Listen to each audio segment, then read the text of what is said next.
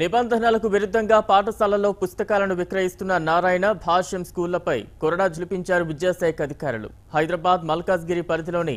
రెండు పాఠశాలల్లో బుక్స్తో పాటు యూనిఫామ్లను విక్రయిస్తున్నారని విద్యార్థుల తల్లిదండ్రులు డిఈఓకు ఫిర్యాదు చేశారు దీంతో రెండు పాఠశాలలను అధికారులు